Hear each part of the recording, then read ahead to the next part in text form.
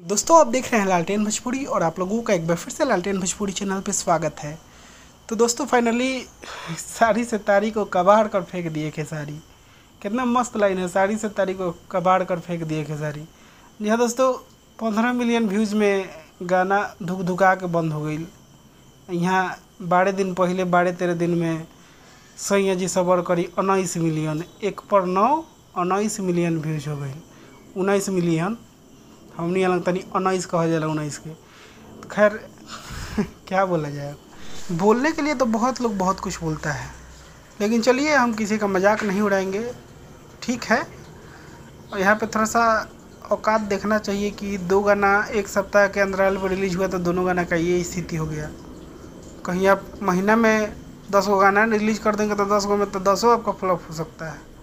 बड़ी दिक्कत स्थिति है। इसीलिए आप शायद कम गाना गाते हैं। कम गाने गाने का रीज़न भी यही है।